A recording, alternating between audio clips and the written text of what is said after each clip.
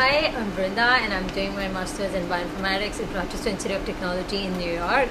And I have been interning here at AB for the past three months. And I'm working with the bioinformatics department and working on the new sequencing system that is called SOLiD.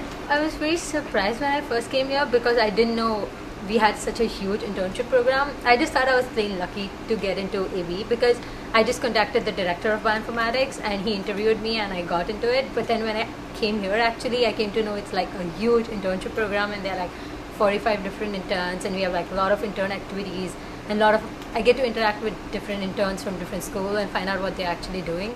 I was really excited about coming to Applied Biosystems. That's because um, I am working in a discipline which I am really studying. So I'm doing hardcore bioinformatics over here as against my intern friends who are in bioinformatics but they are doing some wet lab stuff or computer hardcore computer science. But i'm doing something which i really want that's both biology and it and i'm working on that new sequencing system which is called SOLiD. And i think SOLiD is like a great addition to my resume because it's a next generation sequencing system and every everyone whom i say i'm working on SOLiD they're like oh you're working on SOLiD system.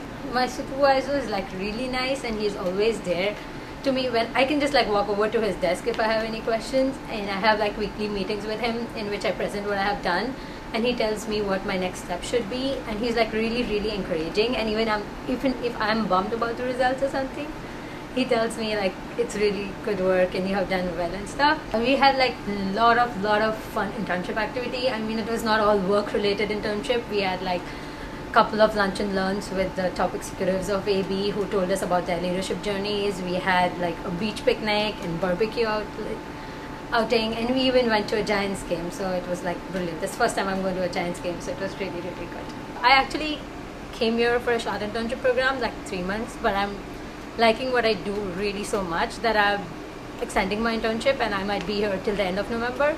Then I go back to school and I'll definitely apply to AB later.